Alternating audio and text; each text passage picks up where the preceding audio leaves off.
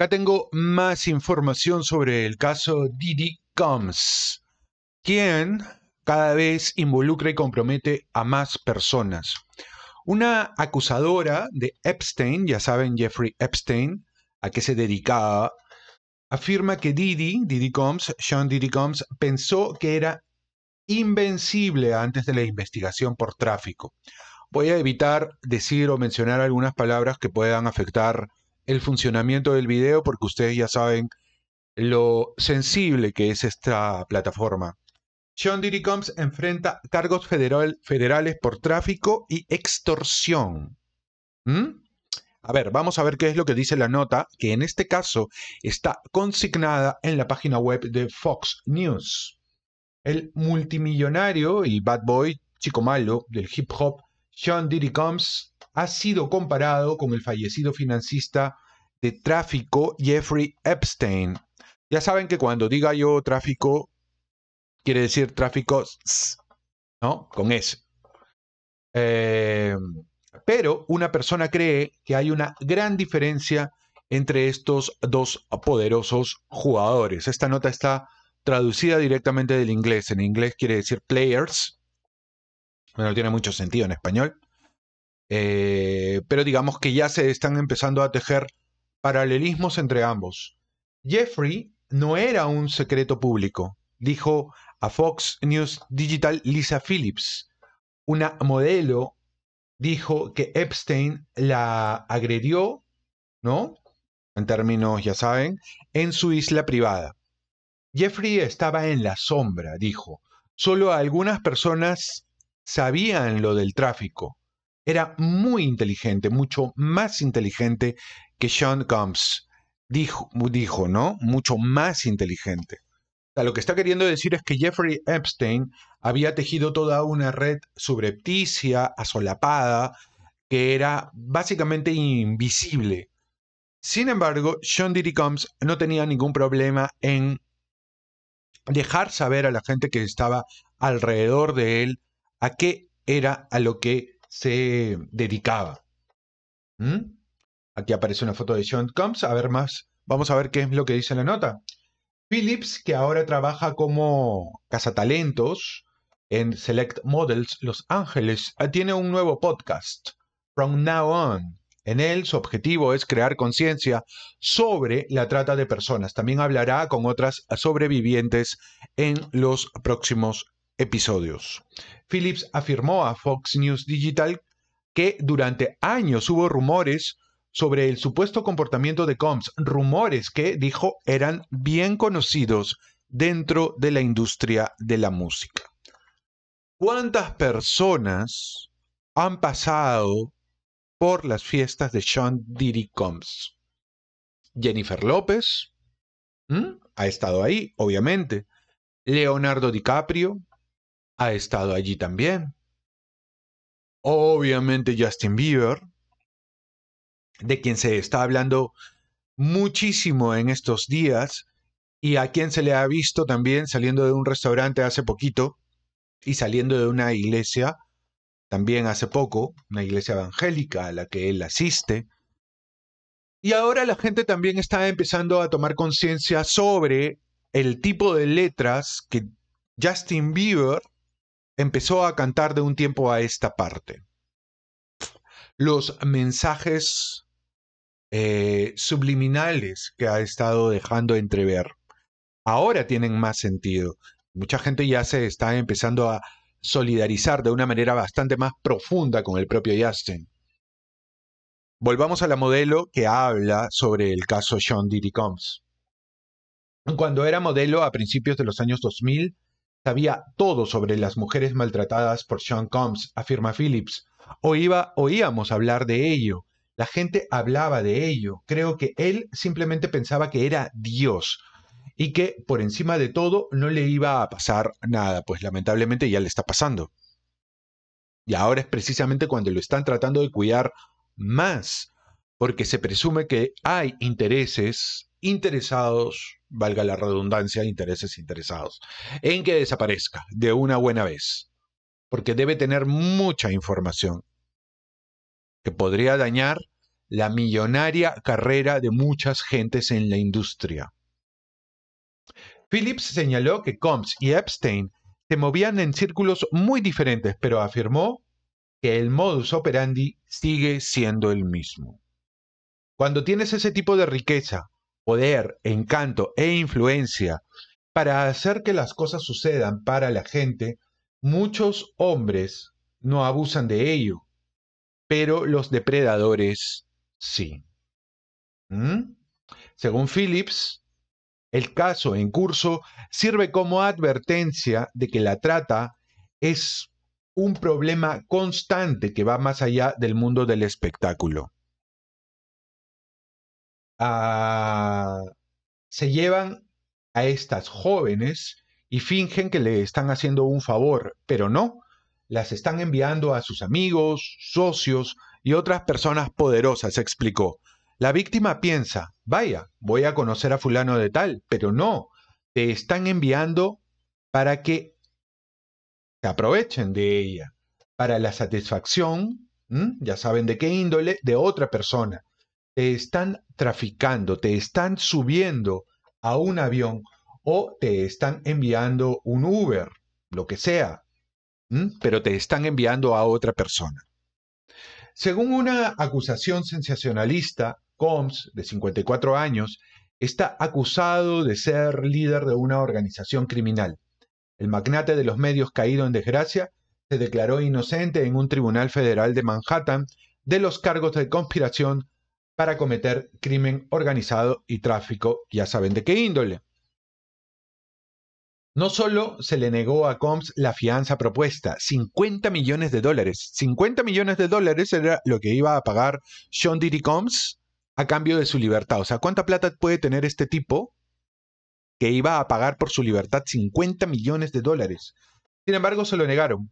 También fue puesto en prisión preventiva y enviado a prisión inmediatamente después de la audiencia. Combs fue acusado oficialmente de asociación delictiva, tráfico, por la fuerza, fraude o coerción y transporte para ejercerla, eh, um, si es declarado culpable, se enfrenta, se enfrenta a un mínimo de 15 años de cárcel o a una pena máxima de cadena perpetua.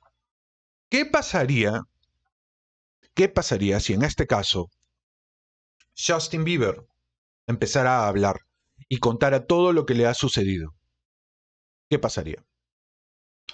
Yo creo que esta es una conversación que en este momento él está sosteniendo con su esposa, quien se ha convertido en uno de sus principales apoyos, si no el principal apoyo.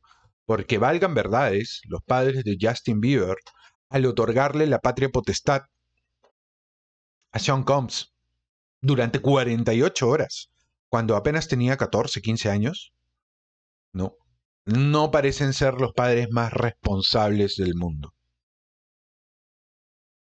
¿Mm?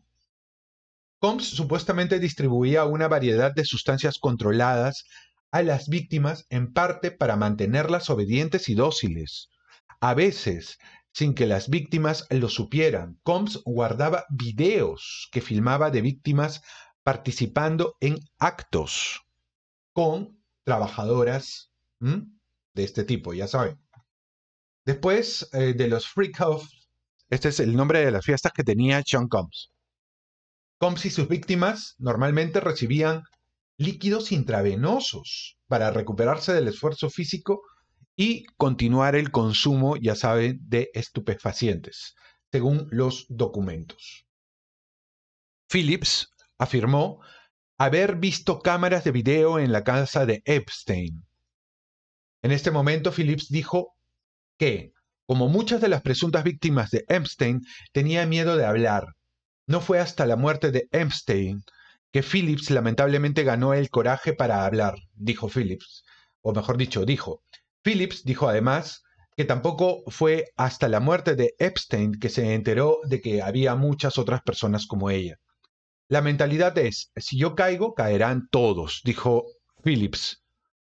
Eh, sobre por qué creía que Epstein tenía cámaras, cámaras por todas partes. Claro, lo que utilizaba era cámaras por todos lados para poder chantajear, extorsionar a la gente. Y se cree todo el mundo lo dice, que es la misma figura, el mismo patrón el que viene utilizando en este caso John Diddy Combs. En sus casas todo tendría que haber estado grabado y habrían cámaras por todos lados. Se habla de videos. Se habla de videos en donde participan famosísimas figuras del mundo del espectáculo. En toda esta situación. Creo que Jeffrey lo hizo porque tenía una conexión más profunda y profunda con políticos y personajes muy poderosos que abusaban de mujeres jóvenes. Creo que Jeffrey lo hizo más bien para protegerse a sí mismo. ¿Mm? Eh, cuando Jeffrey supo que iba a caer, supo que eso lo protegería, reflexionó Phillips. Quería salirse con la suya. En el caso de Sean Combs, hay personas que están rindiendo cuentas, o al menos estamos arrojando algo de luz sobre quiénes son esas personas. Fox News Digital se comunicó con el abogado y el portavoz de Combs para solicitar comentarios. En el año 2019, Epstein fue acusado de abusar de decenas de niñas. ¿Ah? Se trató de un caso presentado más de una década después de que el acusado llegara, en secreto a un acuerdo con fiscales federales para desestimar acusaciones casi idénticas. El gerente de fondos de cobertura de, de, 66 años alguna vez se relacionó con algunas de las personas más poderosas del mundo. Sin embargo, ese año su vida de lujo se redujo a una jaula de hormigón y acero en el Centro Correccional Metropolitano de la ciudad de Nueva York. El financiero caído en desgracia estaba bajo observación psicológica por un intento de suicidio que le dejó el cuello magullado y raspado. ¿Mm? El 10 de agosto del 19, Epstein perdió la vida. Se le encontró sin vida. El organismo de control del Departamento de Justicia, dijo que una combinación de negligencia, mala conducta y fallas manifestadas en el desempeño laboral por parte de la Oficina Federal de Prisiones y Trabajadores de la Cárcel le permitieron a Epstein quitarse la vida. No encontraron evidencia de juego sucio. O sea, no se encontró que alguien específicamente haya entrado y haya hecho algo. ¿no? Recuerden que esta traducción es literal con el traductor. En una declaración a Fox News Digital, un portavoz de Combs dijo, el señor Combs está fuerte, saludable y concentrado en su defensa. Está comprometido a luchar en este caso y tiene plena confianza tanto en su equipo legal como en la verdad. Es lo que han dicho. Habría que ver. Habría que ver si realmente tiene esa, esa fortaleza porque la prisión va a ser destructiva y lo va a milanar en cualquier momento. Y no sabemos si haya alguna otra algún otro estímulo externo que lo obligue a una condición parecida a la de Epstein. Porque tiene mucha información. ¿No? Combs había sido previamente colocado bajo vigilancia rutinaria por riesgo de, ya saben, quitarse la vida pero el domingo fuentes le dijeron a Fox News Digital que está fuera de vigilancia por riesgo de quitarse la vida y ha estado recibiendo visitas de miembros de su familia. Ah, le han cambiado, le han cambiado la vigilancia. Ojo, ¿ah? Ojo lo que están diciendo. Phillips testificó en un caso civil en el 2022 que involucra a Virginia Giuffre, quien dijo que Epstein la había traficado informó USA Today. Según el medio, Phillips también se presentó como Jane Doe bajo la ley de supervivientes adultos. Por otra parte, recibió un acuerdo en caso o en un caso que involucraba a JP Morgan Chase y compañía y acusadoras de Epstein, señaló el medio. Hoy Phillips espera que su podcast y su historia arrojen luz sobre cómo la trata puede afectar a cualquier persona. No se trata simplemente de que una furgoneta blanca te detenga, agarre a una niña de 13 años, la meta en el coche y la envíe a Dubái. No, explicó, no hay gente, no, hay gente poderosa que se aprovecha de tus aspiraciones y ambiciones. Claro, lo que está diciendo es de que no solamente hay que concentrarse en ese tipo de trata, en donde se llevan a una persona que encuentran en la calle, sino a gente que legítimamente quiere progresar y cree en su inocencia, que pueden hacerlo a través de conexiones, sin imaginar que esas conexiones en ese caso van a tener un precio. Hay quienes, hay quienes envían a muchos jóvenes a la misma persona. Continuó, están traficando contigo y estoy muy contenta de que esto salga a la luz. Necesitamos entender qué está pasando realmente. Hay mucha educación que debe impartirse. Bien, estas son las similitudes que encuentra en este caso eh, em, esta, esta, persona eh, entre el desempeño de eh, Sean Diddy Combs y Epstein, ¿no? Eso es un poco lo que, lo que tenemos aquí en este momento. y bueno, vamos a ver cómo es que se van desarrollando las cosas porque empieza a involucrar a más personas del mundo del espectáculo. Nos vemos en el siguiente video.